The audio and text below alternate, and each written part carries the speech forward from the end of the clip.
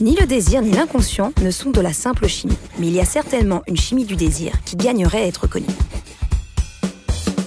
Épisode 1. Pourquoi l'amour rend aveugle et même un peu bête? Le coup de foudre aurait lieu en moins de 0,2 secondes. On peut dire bravo le cerveau, chapeau le cerveau.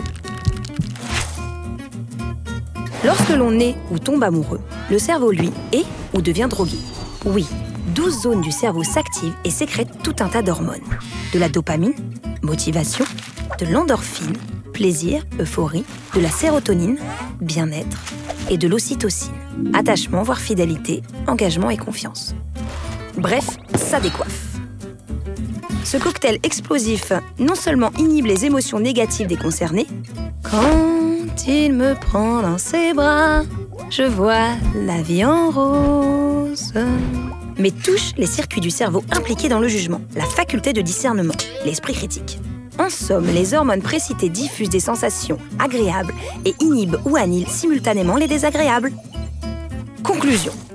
Voilà donc pourquoi l'amour est aveugle. Le cerveau autodrogué aux hormones n'a plus toute sa tête. L'amour, c'est la conséquence d'un cerveau sous drogue. La raison de ce pourtant très cérébral personnage est alors altérée. Notez d'ailleurs que les drogues agissent aux mêmes endroits du cerveau que l'amour. D'où le chagrin d'amour aussi. Le cerveau, qui ne reçoit plus ses hormones du plaisir, est en manque. En bref, l'amour est une drogue.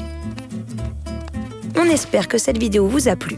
Pour nous soutenir, poser des questions, interagir avec nous ou nous soumettre des propositions de vidéos, venez nous rejoindre sur les réseaux sociaux.